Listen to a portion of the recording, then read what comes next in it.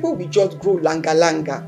Wow. You know, that word never left me. It's so many, many, many years now. It dropped a filthy and a seductive, uh, you know, deposit inside of my heart. Mm. That I have issue with my self-esteem.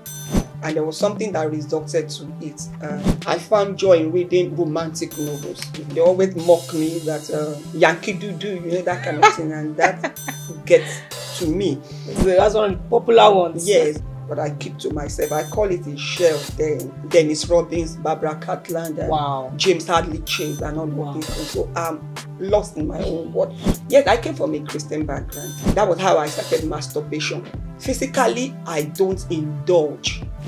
you know, many of us we give our lives, we take it back. Give our lives, we take it back. Granted. So I was addicted to reading those novels.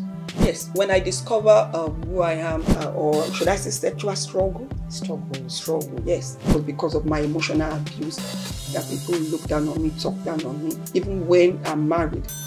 Now, if you don't deal with it, it's going to lead to something more, to more complication. A lot of young people are going through many things and they really, really want to talk to their parents. Wall Foundation Show From Experience to Encounter.